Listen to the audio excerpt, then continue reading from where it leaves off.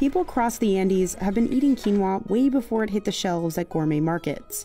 Most of it comes from Peru, where around 100,000 tons are produced every year.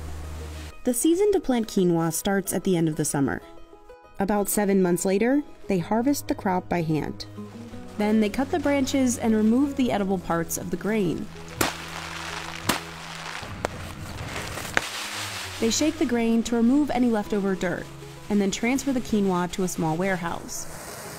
Workers thoroughly wash it twice to remove a bitter chemical called saponin.